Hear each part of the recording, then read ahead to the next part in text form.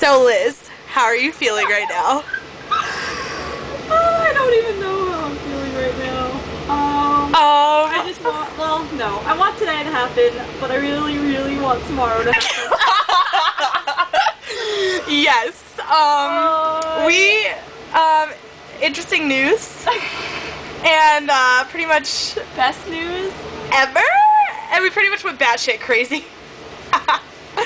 there was some screaming involved. there was a, there was a little bit of screaming, A little bit of screaming. a little bit, you know, not I mean, you know, just you know, only earth shattering, nothing outlandish. no one else was home. Oh my god. we would have been Except your dogs were looking at us like, what the fuck are these bitches doing?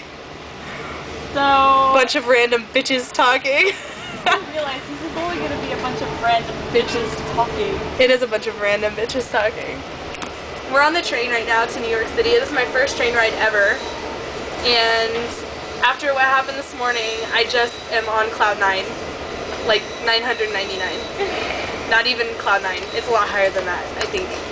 And we're seeing Jane and Christine and Angela tonight.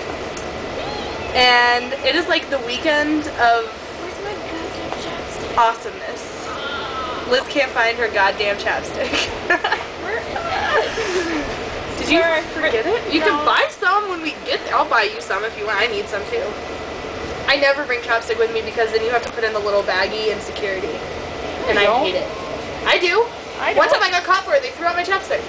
My Dior. The last two Lip gloss. times I flew, I just Yeah. kept it in my bag.